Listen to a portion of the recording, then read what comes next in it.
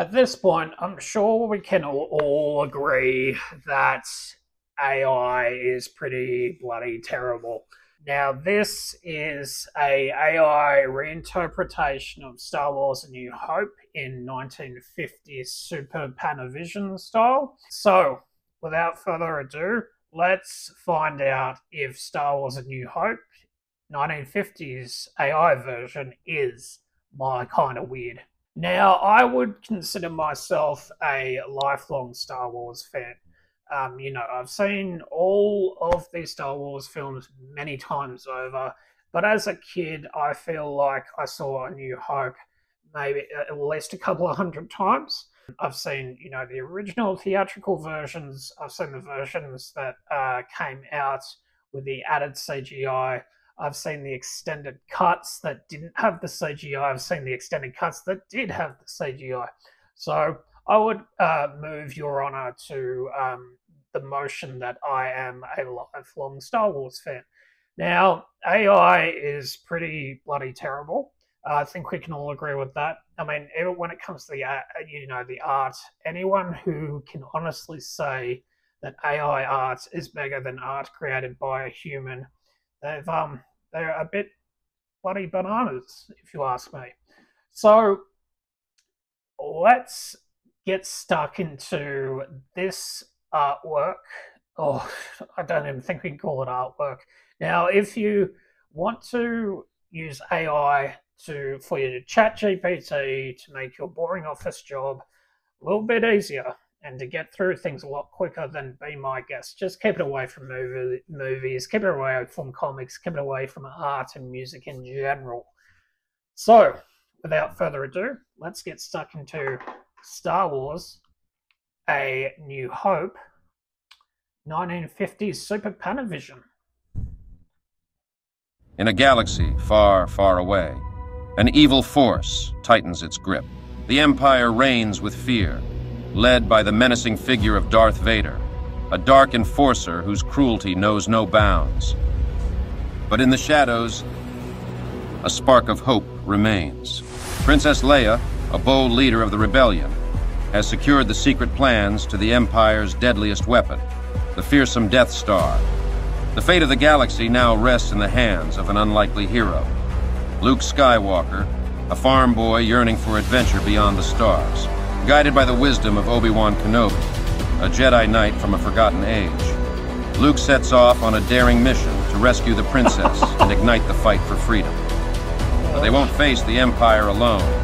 Han Solo, a smooth-talking smuggler with a quick trigger, and his loyal companion Chewbacca the galaxy's finest hyperdrive specialist, join the cause aboard the Millennium Falcon, a ship fast enough to outrun anyone or anything. The Empire is closing in. Darth Vader, relentless and unstoppable, will stop at nothing to crush the rebellion once and for all. From the ashes, hope ascends like a blazing phoenix, reborn to challenge the darkness. With breathtaking space battles, heart-stopping lightsaber duels, and moments of unexpected twists. This is a tale of heroism, friendship, and the eternal struggle between good and evil. As the galaxy teeters on the edge of darkness, can this unlikely band of heroes rise to the challenge? Will the light of hope shine through the Empire's shadow? Join Luke Skywalker, Princess Leia, Han Solo, and their allies as they battle the greatest threat the galaxy has ever known. This is a fight for the future, where legends are born and destinies are fulfilled. Prepare for an adventure unlike any other. Don't miss Star Wars, A New Hope. The battle for the galaxy begins soon. Why? Why do we As a little bonus, I'd like to introduce you to someone new in the Empire. Commander Vexus, the Empire's deadliest distraction. Oh, Armed with precision blasters and well, some killer curves, she doesn't just take down rebels, with looks that could disarm even the toughest bounty hunters, and a swagger that's hotter than a twin sun. Vexus got a talent for making enemies forget why they're even fighting. Your support, whether through likes, comments, or just watching, means so much to me. Thank you for being a part of this journey.